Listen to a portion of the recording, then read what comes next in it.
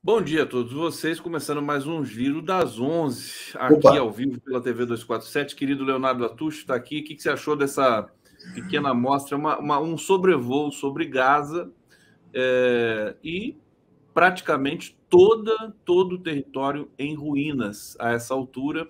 Nós temos também um depoimento de uma brasileira, adolescente, que está em Gaza e, e gravou um vídeo. A gente vai passar aqui durante o programa é, é um momento de muita indignação, dor, no mundo todo. É uma afronta ao mundo que a gente está assistindo, né, Leonardo? É uma afronta à humanidade, é um genocídio, né, sendo transmitido ao vivo pelas redes sociais, sendo exaltado pelas potências ocidentais, né? É, é uma coisa que a gente nunca imaginou que poderia acontecer, né? É, aliás, as democracias ocidentais que tanto falam em direitos humanos é, a gente está assistindo, Conde, ao extermínio de uma população. É, e sem, sem que ela possa gritar por socorro a ninguém, né? Porque, na verdade, Estados Unidos apoiam, Inglaterra apoia, Alemanha apoia, Itália apoia, França apoia, né? E com isso o Netanyahu se sente autorizado para praticamente condenar à morte 2 milhões e meio de pessoas que vivem na faixa de Gaza. É, eu acho que os números de mortes estão muito subestimados ainda não há nenhuma contabilidade séria que possa ser levada em conta.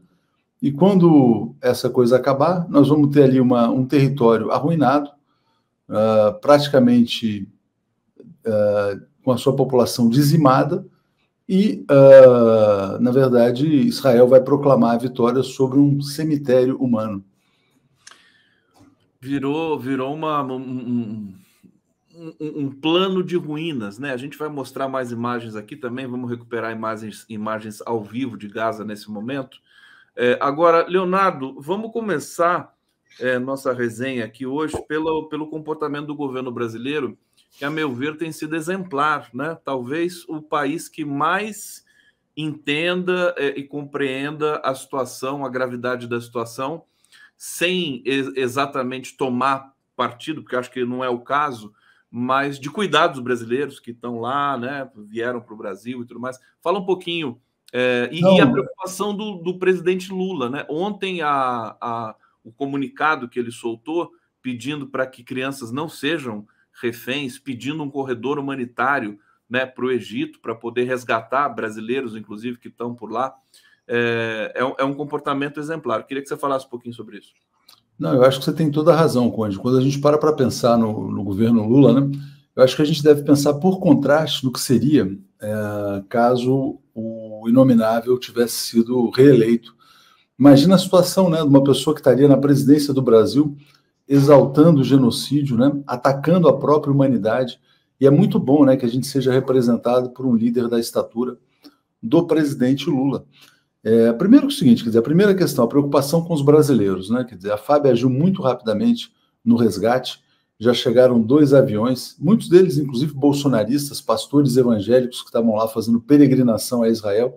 Aliás, pastores evangélicos cristãos peregrinando a Israel, um país, enfim, quer dizer, que não é cristão, mas que estimula a profusão dessas religiões, porque isso ajuda a criar uma sustentação é, política uh, internacional de ao país. Também. É, um turismo, essa coisa toda. Mas também eu acho que tem uma questão ideológica, né? Porque você vê que todos esses pastores não olham para Israel como uma terra prometida. Eles devem até debochar dos pastores lá dentro, né? Vamos dizer assim, o círculo de poder é, israelense. Mas para eles acaba sendo útil, né? Então tem esse utilitarismo nas relações. Então o governo Lula agiu muito bem no resgate dos brasileiros, está de parabéns. É, e também eu acho que assim a posição internacional é exemplar, Conde. Assim, não podia ser diferente, né? É, condenar todos os tipos de violência, né, a violência do Hamas, mas, sobretudo, condenar o genocídio que está sendo praticado contra os palestinos e defender a criação do Estado palestino. Ontem, na Globo News, o ministro Paulo Pimenta ele foi confrontado né, pela, por aqueles jornalistas, dizendo: Ah, mas veja bem, o senhor, como deputado, apoiou o Hamas dois anos atrás. E ele falou: olha, tentar associar uma posição política de alguns anos atrás com o que aconteceu hoje é desonestidade intelectual. Falou na lata, né? E disse sim que o governo brasileiro vai lutar pela criação do Estado palestino. Então tá de parabéns o Paulo Pimenta por enfrentar é, a patrulha da Globo News. Eu vi a entrevista e acho que tinham seis ali jornalistas na bancada para entrevistar o Pimenta, os seis jornalistas fizeram a mesma pergunta, é, que é, é por que o Brasil não taxa o Hamas como terrorista? E o Pimenta respondeu a mesma coisa seis vezes. Quer dizer, é, havia ali há, uma patrulha da direita que é uma coisa infernal, né? É, e o, explicou a explicação que é do Itamaraty, que é do governo brasileiro oficial. Quer dizer, se a ONU não, não classifica o Hamas como terrorista, nós também não classificamos. Vamos esperar. Se houver unanimidade para essa classificação, a gente vai aderir. Exatamente. E também é o seguinte, quer dizer, e por que, que nenhum jornalista da Globo pergunta para o Globo por que, que você não classifica o Estado de Israel como um Estado terrorista, que pratica terrorismo de Estado? Obviamente, quer dizer, a, cai a máscara, né, Conde, da imprensa brasileira democrática contra a imprensa fascista do bolsonarismo. Globo e gabinete do ódio do Jair Bolsonaro são a mesma coisa. No fundo é o seguinte, quer dizer, só usa uma roupinha melhor, uma maquiagem, um perfume mais cheiroso, mas é a mesma essência, os dois representam a mesma política imperialista, né? desumana, destrutiva. É o que a gente está vendo. Não tem nenhuma diferença entre o Carlos Bolsonaro e o João Roberto Marinho. Aliás, eu, eu, eu falo para o público, né? Se você tem dúvida né, de, de, de, que lado você está, não é uma coisa para se ter lado, né? A, a, a rigor. Mas se a discussão superficial for essa, é só ver quem está apoiando é, Israel nesse momento no Brasil. A família Bolsonaro, Bolsonaro, filhos do Bolsonaro e figuras Globo, associadas. Né? A Globo, a Folha de São Paulo. É, exatamente. Agora, eu quero destacar aqui, Leonardo, o seguinte: nós da, da imprensa é, independente, né, progressista, estamos prestando um serviço é, assim importantíssimo para o país para a opinião pública nesse momento. Todos os analistas que vêm aqui da entrevista, Reginaldo Nasser, Zé Arbex, todo mundo que está passando por aqui, Breno Altman, que também está fazendo um trabalho desse. Quer dizer, a gente está fazendo um contraponto à devastação. A cobertura da imprensa brasileira sobre é, é, esse conflito é tão devastadora quanto o próprio conflito. Leonardo, queria que você falasse um pouco sobre isso. Não, total. Eu acho que assim, bom, primeiro você está de parabéns, né, cara? Você fez assim um esforço de reportagem nos últimos dias entrevistas brilhantes, né? A entrevista do, do Arbex foi sensacional.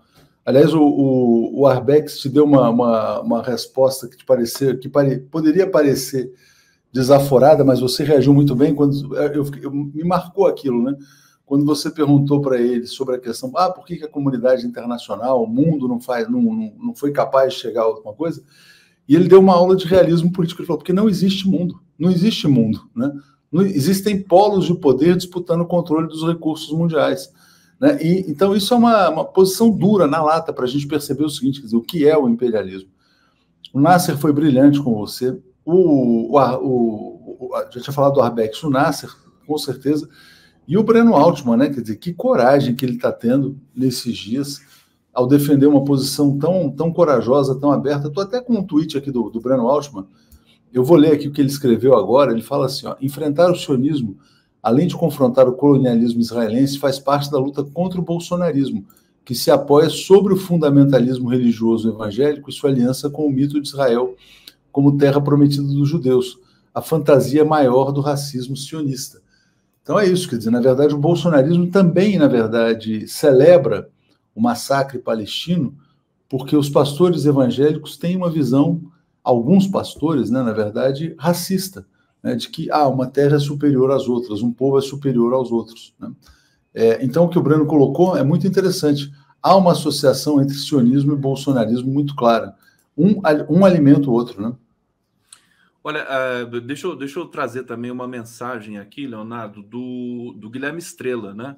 o ex-diretor de exploração da, da, da Petrobras, que nos assiste deve estar nos assistindo agora, para mandar um abraço muito afetuoso para o Guilherme Estrela, que é maravilhoso, uma figura assim, grande de um, de um caráter, né? Fantástico. Ele assistiu o giro de ontem, ele diz o seguinte aqui, mandou uma mensagem para mim: Conde, seu giro das 11 de ontem, com Zerbeck Reginaldo Nasser, foi uma aula magna de ética civilizatória.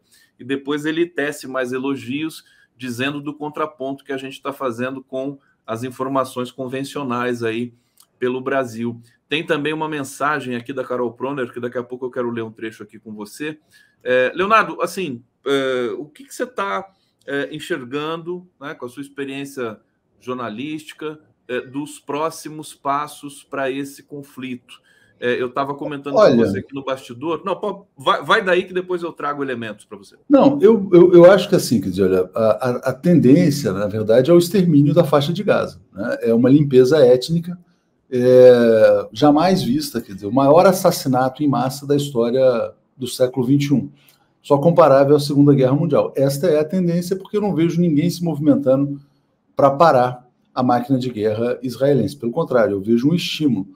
É, hoje a gente já tinha notícias do aeroporto da Síria também bombardeado por Israel, e eu acho que há uma provocação né, é, para fazer com que essa guerra chegue a outros países também, para que a Síria se envolva, para que o Irã se envolva. Os Estados Unidos estão mandando um porta-aviões para o Oriente Médio. O que, que eu vejo, Conde? A minha, a minha percepção é o seguinte: quer dizer, olha, o imperialismo já perdeu a guerra na Ucrânia. Né? A guerra na Ucrânia já é uma questão praticamente superada. Né? A Rússia anexou seus territórios lá, é, a Ucrânia não vai conseguir reaver esses territórios, e a Ucrânia está numa situação também devastadora. Então, eu acho que essa guerra em Israel é uma, vamos dizer assim, é uma. É como se fosse assim um novo movimento do imperialismo para demonstrar força e tentar se assegurar do domínio de uma região estratégica para o mundo, que é o Oriente Médio, que é a fonte das maiores reservas de petróleo do mundo. Aliás, quando as pessoas falam, ah, petróleo, petróleo, não sei o quê, transição energética, tem uma notícia muito importante de ontem: a Exxon, que é a maior petroleira dos Estados Unidos, comprou uma empresa de petróleo também nos Estados Unidos, a Pioneer, pagou 60 bilhões de dólares. E aí o que, que sai é, no, na mídia brasileira? É, ESSO renova sua aposta em combustíveis fósseis, né? Então, no fundo, quer dizer, o imperialismo quer transição energética para os outros e combustíveis fósseis para eles. Dizer, essa é uma situação bem interessante. Então, é óbvio, é óbvio que o petróleo ainda é extremamente estratégico. É, é, e a gente vinha tendo uma movimentação, Conde, que é o seguinte: para para pensar no anúncio mais recente do BRICS, né? Quais são os países que entraram? Arábia Saudita, Emirados Árabes, Irã, Etiópia, né? Uh, Argentina e teria mais um outro, né? Agora já me fugiu. Mas se você parar para pensar, Emirados Árabes, Arábia Saudita, Irã, só aí você tem a maior produção de petróleo do mundo é, passando para o bloco BRICS. Né? Esse bloco assustou o império. Lógico. Sem dúvida nenhuma. Eu acho que essa guerra pode ser uma resposta a isso. Então você vê, o imperialismo está jogando pesado agora no Oriente Médio, assim como está jogando pesado na Argentina. Né? Eles estão se movimentando para eleger o Javier Milei a todo custo. Eu acho que a grande batalha civilizatória do mês de outubro é a eleição argentina. Foi muito importante a notícia de ontem também do, do Sérgio Massa superando o Javier Milei. Aliás, quando eu não sei, você já trouxe a Márcia Carmo aqui no Giro? Não, mas eu estou acompanhando o trabalho dela, que é sensacional. É, eu acho que seria muito bom a gente trazer um dia para falar, assim, quer dizer, sobre o que, que representa isso, porque uh, a Argentina precisa ser salva também, né? Ah, mas a Argentina está com inflação. Tudo bem, óbvio. Quer dizer, aliás, o Brasil tem que fazer de tudo para ajudar a estabilizar a economia argentina depois dessa eleição, né? Mas deixar que esse país caia nas mãos do fascismo aqui do lado, né, é muito perigoso, Conde. Muito perigoso. Gente, eu na, até no, no calor, né, nessa, nessa emoção, porque está todo mundo constrangido com essa, com essa guerra aqui no Brasil, comovido, constrangido, indignado. Eu acabei não dizendo é, dos nossos parceiros que estão aqui no C transmitindo. Estamos ao vivo também pela TVT de São Paulo, TV aberta, que é uma honra para gente, também pela Rádio Brasil Atual, FM 98,9 na Grande São Paulo. Você pode ouvir o Giro das 11 no trânsito, né? Se você estiver fazendo alguma outra coisa, e também pela TV Quirimurê na Grande Salvador, Bahia. Leonardo, vou para o bate-papo aqui trazer alguns comentários do nosso Vamos público. Lá. Edson Antunes, o bicho pegou de vez. Palestina Resistance. Resistência. Resistência Palestina. Palestinian Resistance. É, Pedro Antônio Cândido, nunca tinha sentido tanta angústia e tristeza. Os massacres atuais contra o povo palestino são revoltantes, né? Um salve a todas as crianças do mundo. Paulo Eduardo Canhadas. Léo Atucho, você transmite confiabilidade, sua presença na live traz ótimas análises, gratidão. Olha aqui, bacana. Subscrevo. Tereza Cristina Rodrigues Ribeiro, estamos assistindo o segundo holocausto e perpetrado por um povo que já sofreu essa catástrofe. Pois é, o que é a ironia da história, terrível, né?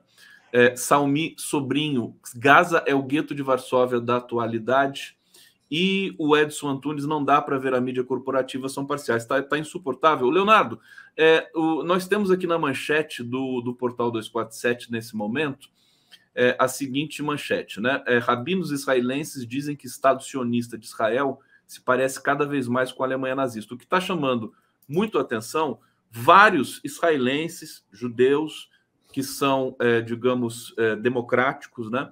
É, e compreendem o fenômeno, estão é, se posicionando contra o governo genocida do Netanyahu. É, fala um pouquinho sobre isso para a gente. Não, é, é, importante a gente publicar essas notícias, para que as pessoas percebam no Brasil que há mais liberdade de expressão em Israel para criticar o genocídio do que na imprensa brasileira. A imprensa brasileira é uma decepção. É, eu fui ver Folha, Estado, Globo hoje de manhã, não tem uma linha aproveitável. Eu não consegui achar um colunista que dissesse algo que, que merecesse crédito. Parece que assim é um comando unificado né, para dizer o seguinte: não, vocês têm que se portar assim, assim, assado, e quem sair né, uh, perde o um emprego, aparentemente é isso. E coisas constrangedoras, né, cara? Eu estava vendo ontem, eu passei o dia vendo aquele colunista da Folha, Joel Pinheiro da Fonseca, ele é filho do Eduardo Janete da Fonseca, né? E o Joel Pinheiro dizendo: não, veja bem, olha, é, Israel avisa antes de jogar bomba para que as pessoas não sejam assassinadas, para que elas saiam de suas casas. É, é uma coisa assim assustadora. Assim, as pessoas estão eu não sei se isso é para defender o emprego, o ganha-pão de cada dia, mas é, é uma humilhação que essas pessoas estão passando. Eu acho, Leonardo, eles se sentem ameaçados, né? Porque Gaza e, os, e o palestino e o povo palestino meio que representam o povo, né? O povo ah. trabalhador, né? Não são as elites, definitivamente. Então eles eles tomam partido nesse sentido. Você não acha isso? Eu acho assim, quer dizer, que eles têm que defender a todo custo, né? E você pega, são é sempre a mesma turma, quando você para para ver o seguinte: quer dizer, olha, os jornalistas que defenderam o golpe de Estado contra Dilma são os mesmos que defendem o genocídio contra a Palestina, né? Porque todos, todos, todos são associados ao imperialismo, quer dizer, o imperialismo que é essa máquina dominada pelo grande capital é, é, financeiro internacional. Então, é, parece, quer dizer, que eles tentam criar um consenso na sociedade que não existe mais. É, lógico, a gente vai entrar numa era de cancelamento, de muita censura. Hoje a Natália Urbana estava é, noticiando que vários, que o Twitter bloqueou várias contas né, associadas à, à questão do, da Palestina, enfim, vai ter muito cancelamento, muita é, censura. As big techs, todas elas, a gente fala isso aqui dentro de uma transmissão de uma big tech, de várias, que é o Facebook, YouTube, são todas pró-Estados Unidos e pró-Israel, não tem dúvida disso. Né? Elas são instrumentos. Né? Algumas até tentam manter uma, uma, uma, maior liberdade de expressão. Você pega assim o Twitter, né? O Elon Musk dizia que ia ser o grande apóstolo da liberdade de expressão no mundo, tal. Mas ele sofreu uma pressão do, dos comissários europeus e saiu eliminando um monte de conta, porque agora é, é o Conde, na verdade, isso aí é o seguinte, quer dizer, é um capítulo da Terceira Guerra Mundial estamos vivendo a Terceira Guerra Mundial entre o bloco imperialista barra OTAN contra o bloco mundo multipolar. É isso que está acontecendo, né? É, eu receio muito que essa guerra chegue aqui à América do Sul rapidamente, pela disputa dos territórios, pela disputa dos, dos recursos naturais, que a gente tem até reviravoltas políticas aqui na região. Né? Os Estados Unidos estão implantando base militar no Peru, podem implantar um regime fascista na Argentina, é, a situação não está fácil pra, para a humanidade. É, a América Latina tem tudo, América do Sul tem tudo para ser a próxima bola da vez, né? Depois é. desses processos todos, ah, por isso a importância de uma figura como o presidente Lula na, à frente do, do Brasil. Mas ele não vai fazer milagre também, né, Leonardo? Exatamente, porque você pega a Europa, a Europa está toda dominada, né? A Europa é realmente assim, é uma coisa impressionante o grau de submissão desses países europeus. É, eu não sei se eles não conseguem enxergar uma outra realidade, né, nessa coisa da multipolaridade, mas, é, olha, cada vez mais as pessoas têm que estudar mesmo o tema do imperialismo, porque ele está em declínio, mas ele está caindo, atirando, né? É, e sobre a mídia, só para fechar um ponto, né, eu acho que é importante a gente registrar isso, a vergonha né, que alguns jornalistas passaram com aquela fake news dos bebês decapitados, Hoje tem lá o próprio exército de Israel dizendo que não é capaz de confirmar essa história, porque você percebe, com um certo desespero nesses jornalistas do grande capital, do imperialismo, né, é, em tentar convencer as pessoas a aceitar o genocídio. Né? As pessoas não, assim, quer dizer, qualquer pessoa normal, né, que tem um pouco de, que não tenha, assim, um sadismo intrínseco, ela olha, pô, o que está acontecendo é um genocídio, são seres humanos, né, que estão sendo assassinados, né, por um genocida, é importante, né, porque o genocida, inclusive, mata e põe nas suas redes sociais. É, mas é, aí eles ficam buscando argumento, não, mas veja bem, decapitaram bebês. Aí você vai ver, não decapitaram bebês, não tem essa história, essa história é falsa. Né? É, a própria CNN noticiou isso agora. E assim, o desespero que eles estão tendo para tentar encaixar Olha, fiquem do nosso lado, está complicado, Conde. Eles não estão conseguindo mais controlar a narrativa. Não estão conseguindo controlar a narrativa. Eu acho que dessa vez tem alguma coisa diferente, né? Acho que isso aí é até meio consenso, né? Para quem trabalha com jornalismo, porque Israel sempre, né, conquista, né? É até, os palestinos vista, são né? terroristas, Israel é o mocinho e tudo mais. Agora não, não é mais assim, pelo menos é, é, é o que a gente também espera que a verdade prevaleça pela primeira vez nesse, é, nesse processo. O Leonardo, o Leonardo, me mandou aqui, gente, uma, uma, é, um vídeo de uma brasileira que mora na Palestina. Eu vou pedir muita atenção de vocês agora, vou colocar esse vídeo no ar para a gente ver uma pessoa em loco, né, na, na, é, na situação absolutamente perigosa é, de estar em Gaza nesse momento. Vamos assistir juntos aqui. É um trechinho. Eu sou a Char da faixa de Gaza, sou brasileira e moro na faixa de Gaza. Hoje é o 11 de outubro de 2023, o quinto dia da guerra aqui na faixa de Gaza. Hoje a situação está muito pior que os dias anteriores. Eles já atacaram um bairro inteiro, já não tem. Tipo, imagina um bairro inteiro, não tem nada, só casas destruídas. Eles estão atacando em todo lugar. Mano, tá, tá cheio de fumaça em todo lugar aqui. Só, só tô vendo fumaça, o cheiro. A fumaça é a pior coisa que você pode imaginar. Eles estão usando armas proibidas internacionalmente. Eu já perdi amigas nessa guerra. Faz cinco dias que as pessoas, que nós estamos sem luz e sem água e quase sem alimentação. Tem muitas pessoas que foram para as escolas, só que também nem as escolas do UNO tem nem, nem luz, nem água, nem nada a situação está muito difícil. Os israelitas estão atacando casas sem avisos. Ontem eles avisaram que vão atacar um bairro inteiro, só que eles atacaram outro bairro e muitas pessoas morreram. Eles estão usando armas que são proibidas internacionalmente. E tá muito pior a situação aqui, gente. Uh, quatro dias atrás a gente tinha que sair de casa porque onde eu morava é cheia de ataques. De verdade. Somos mais de 20 pessoas num quarto só. E só estamos tentando sobreviver. Onde eu tô agora, nos, qualquer lado que eu olho tem ataques. Na minha frente, atrás de mim, onde eu olho só tem ataques. Ó, ó, tá vindo uma. Eu vou, eu vou agora vou, vou deixar rodando o vídeo Ai. sem som para a gente retomar aqui a nossa, a nossa resenha, porque ela agora ela vai falar. É, vão cair várias bombas ali, quer dizer, é impressionante essa, essa, essa imagem, Leonardo. E acho que ela fala por si, né? É uma coisa que comove todos nós aqui e vê a, a verdade que está acontecendo. Quer dizer, Israel não avisa nada, inclusive mente, fala, vou atacar lá e, e, e ataca outro lugar e mata pessoas. É isso que eles estão fazendo. E, e, assim, quer dizer, o, o último contato dela foi ontem à tarde, Conde. Foi ontem. O último contato que ela fez foi ontem às quatro horas, né? E a, a, o risco real é que ela morra de fome, de fome, de sede. Né? É uma brasileira que está sendo assassinada pelo governo de Israel, assim como dois milhões e meio de pessoas que estão sendo assassinados lá. Né? Uh, e assim, quer dizer, e você vê esse discurso né, do, das democracias ocidentais dizendo que, olha, Israel tem o direito de se defender, etc. e tal, papapá, exterminando uma população civil, né? Isso nunca se viu, Conde. Assim, a gente está vivendo uma coisa que é o espetáculo da catástrofe. Uma pessoa até postou um ensaio sobre isso no Twitter, é, que é uma exibição de força, quer dizer, é uma era que está se anunciando é, para a humanidade que é o seguinte, quer dizer, os mais fortes se impõem. Né? É uma era de muita violência, de muita violência, quer dizer. É um, é um nazifascismo numa escala como jamais se viu, né? o que está se, o que tá se implantando não apenas na faixa de Gaza, mas isso aí é só um ensaio, né, porque pode estar vindo pela frente para o mundo.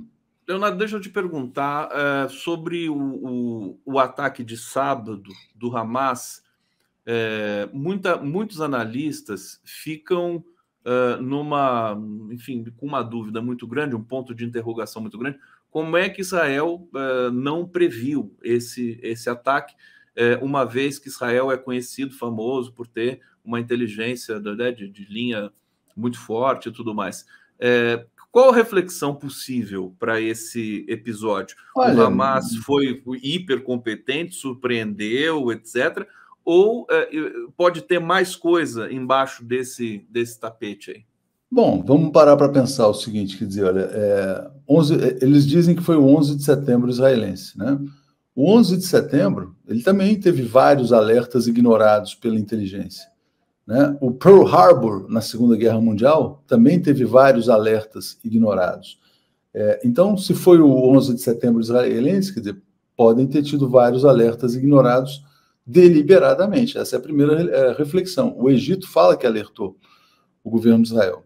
Aí eles usam a desculpa, ah, não, mas veja bem, o Hamas estava usando celulares Huawei chineses, porque também já pode ser um capítulo, né? Vamos parar para pensar. A destruição da faixa de Gaza, a guerra contra o Irã, depois a guerra contra a China. É, olha, o mundo está na terceira guerra mundial, tá? Só para as pessoas terem a noção do que está acontecendo. É, e assim, quer dizer, olha, Obviamente, quer dizer, essa hipótese da. Porque, na verdade, o que, que autorizaria o governo de Israel a fazer a limpeza étnica? Né? Obviamente, ele jamais teria legitimidade para fazer sem um ataque prévio. Né? Então, só o ataque prévio, a resposta a um ataque, o direito de se defender, é que justificaria a limpeza étnica. Então, esse ponto tem que ser colocado, como foi colocado por vários analistas independentes no 11 de setembro. A quem serviu o 11 de setembro? O 11 de setembro ali foi a base inicial da guerra ao terror, né? Uh, e a guerra ao terror mudou o mapa do Oriente Médio. Vários governos foram derrubados a partir daí.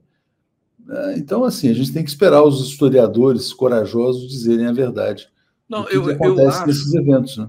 Eu acho até que a, a gente está conseguindo, né, nesse circuito aqui de, de analistas, a sua a sua análise importante, é antecipar um pouco o trabalho dos historiadores. Nós, nós precisamos fazer esse movimento, Leonardo, porque esperar os historiadores identificarem isso é a é. gente passar pela, pela, pela catástrofe, né? Como, como que aconteceu no Brasil, é, e só para depois a gente tomar é, as devidas providências. Olha, vou mais uma vez para o bate-papo, querido Leonardo Atucho. Nós temos mais 10 minutos aqui, você sabe, né? Vamos lá, vamos lá. vamos lá. Reginalíssima está aqui dizendo o seguinte: essa hostil guerra Israel-Hamas, que massacra o povo palestino, é historicamente paradoxal, contraditória. O Edson Antunes está dizendo: não dá para ver mídia corporativa, são parciais. É, Fernando Bai, estamos aprendendo a lutar contra a inteligência artificial. Calma. Uh, não sei se eu entendi muito bem isso aqui, mas tá lindo aqui o Fernando, querido. Esperançar novos mundos. Lula propor: Rússia suspende ataques à Ucrânia. Se OTAN não instalar a base lá, os Estados Unidos e Israel aceitam a formação do Estado palestino, conforme os limites definidos pela ONU em 1947. Paz no mundo. Esperançar novos mundos aqui. É, é, perguntando, fazendo uma proposta. Ô Leonardo, esticando um pouco essa, essa pergunta aqui do esperançar, né? Que papel que o Brasil pode ter, assim, na urgência desse processo? O Brasil hoje preside os BRICS, o G20, é, o Mercosul é, e o Conselho de Segurança da ONU.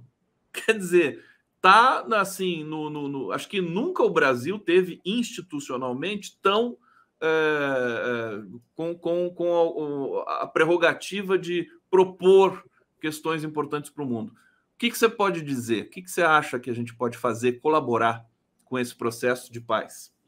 Não, o Brasil é assim, é como se fosse assim a voz da consciência mundial, né? Mas a gente está vendo o seguinte, quer dizer, essa questão das, da, da consciência, do, dos valores, dos princípios civilizatórios, isso na verdade, assim, eu estou ficando cada vez mais arbexiano, viu, Conde? Porque é o seguinte, quer dizer, não existe civilização, não existe princípio, não existe valor, existe o poder militar, né? Então, isso só vai parar, por exemplo, quer dizer, o que, que parou a guerra na Síria? Né? Quando a Rússia entrou e confrontou o imperialismo. Se algum, alguma potência militar decidir confrontar é, essa, o exército israelense, o exército imperialista, a OTAN, aí as coisas podem ter um novo rumo. Ninguém vai. o Brasil realmente assim, quer dizer, ele tem um papel para a civilização. É importante né, que o Brasil seja visto dessa maneira e que o Brasil tenha um líder da estatura do Lula. Mas isso não vai deter né, o Estado de Israel, não vai, não vai deter o genocídio, não vai evitar nenhuma morte, infelizmente. Leonardo, e China, e Rússia, e Índia, que são, uh, digamos, uh, países uh, robustos nessa, nessa cena toda também é, a, Índia, a, Índia, é um país de extrema direita, né? Quer dizer, está sendo governado caminhando para um regime de extrema direita. A Rússia mantém uma, uma, uma, uma, relação ali um pouco ambivalente, né? Quer dizer, tem boas relações com Israel também. A Rússia, a meu ver, não vai fazer nada, a não ser que sinta que os seus interesses existenciais estão ameaçados, né? Se a Rússia perceber, quer dizer, que essa questão da Palestina é um passo para que por exemplo, é, haja feito um, um seja feito um redesenho total do Oriente Médio, colocando seus interesses em risco, aí a Rússia entraria. Eu acho que a China, por sua vez, ela ainda não está preparada para esse jogo pesado das guerras, né? E nem tem a intenção de fazer. Agora, a China tem interesse, quer dizer, num Irã estável. O Irã fez uma parceria estratégica com a China também, assim como a Rússia. O Irã é um dos grandes fornecedores de petróleo para a produção industrial chinesa. É, então, a China interessa a estabilidade no Oriente Médio também, mas não, não os vejo assim, sabe, com uma força militar para entrar nesse, nesse jogo. É, eu acho que a gente tem que olhar com muita atenção os próximos movimentos dos Estados Unidos, da Rússia, que são os grandes players, as grandes superpotências militares. Né? Eu acho que tem muita coisa no ar, tem, tem a tensão no Estreito de Taiwan, tem outros interesses que vão brotando e brotando. A questão do combustível fóssil do petróleo, como você falou, também entra nesse jogo. O preço do petróleo já foi é, mexido com esse conflito, né? Então é, é, é uma questão muito complexa. Vamos ver se esses negociadores, né, internacionais, a gente sabe que a gente tem um grande estrategista que é o, o Celso Amorim e o Itamaraty também e o próprio Lula, quer dizer, conhecem bem essa essa, esse rol de negociações internacionais, é, mas, mas é preciso que o, o, preciso combinar com os russos, como diria o Garrincha. O meu querido Leonardo, deixa eu ler aqui um trecho da mensagem que a Carol Proner publicou hoje no Twitter, no, no, no Facebook, é, aqui para todo mundo. Vamos lá. Ela diz o seguinte: Gaza, que já era a maior prisão a céu aberto do mundo, agora é um pogrom contra civis palestinos. Os atos terroristas do Hamas não justificam como resposta o terrorismo de Estado contra a população civil palestina, o mesmo horror vivido que deve ser responsabilizado, jamais legitima como vingança o ataque programado do direito humanitário, o corte de recursos essenciais à vida, como água e alimentos, e o ataque às escolas, hospitais e agência humanitária, assumindo o risco de massacrar os próprios reféns em território ocupado. Ela segue mais um pouco mas acho importante destacar o seguinte: quer dizer, ontem Israel é, assassinou, né, acho que nove integrantes da Cruz Vermelha. Só isso. Né? Da, da, é, o, até os Renato, que na, lá naquela região chama Crescente Vermelho, né? É, é tem, tem um outro nome, né? Mas, mas assassinou os funcionários da ONU também, enfim, né? É, é uma situação que não sei se vai se sustentar por muito tempo. A narrativa dessas agências internacionais que coloca Israel como alguém que está se defendendo, quer dizer, não está se defendendo nesse momento, né? É, tá, tá atacando. É, você quer comentar um pouco a fala da, da Carol Prona? Não, mas é concordar, basicamente, né? Quer dizer, concordar, eu acho que é, é por aí. Mas eu acho, Conde, quer dizer, que a gente está vivendo realmente assim um período sombrio, né? E é muito perigoso a gente perceber como a extrema-direita entra nesse debate de uma maneira sanguinária, cruel, polarizando a sociedade e aparentemente vencendo, né? Por quê? Porque a gente está num momento assim, quer dizer, e que, que isso está na, tá na, na, na, mente das pessoas, né? É, o, o, o, diferente precisa ser eliminado, né? Aquele que não é aceito na sociedade. Quer dizer, essas ideologias elas estão presentes também no extermínio das favelas, sabe? É, ah, é preciso limpar São Paulo da Cracolândia, coisas desse tipo. É, é preciso tirar a faixa de Gaza. É, eu receio que é, o que está acontecendo alavanque a extrema-direita nas próximas eleições, inclusive em 2026, né? E que a gente tem aí uma teocracia mesmo governando o Brasil em 2026 mesmo com todos os bons resultados da economia, o crescimento tal, é, o excelente trabalho que está sendo feito pelo Lula, pelo Haddad, é, eu acho que a gente está entrando numa era de escuridão né, na sociedade. O iluminismo acaba. Se você pega o seguinte, quer dizer, se as democracias ocidentais patrocinam o terrorismo, né, o que, que a gente pode esperar? O que esperar? É como, como o pessoal tem alertado aqui também, o Partido Neonazista na Alemanha ficou em segundo lugar nas eleições da Turíngia. É, mas. Você, mas, mas isso, isso acontece porque os social-democratas estão apoiando o nazismo, no final das contas, né?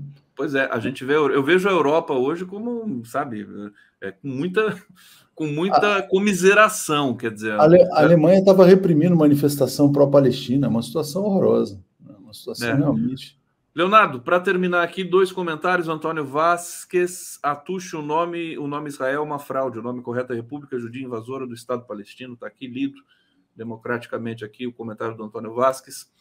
Francisco Antônio Marins, fotos traumáticas com como o que vem ocorrendo nessa fatos traumáticos, desculpa, como que vem ocorrendo nessa semana, serve de ruptura e a solução dos dois estados pode acabar se tornando realidade.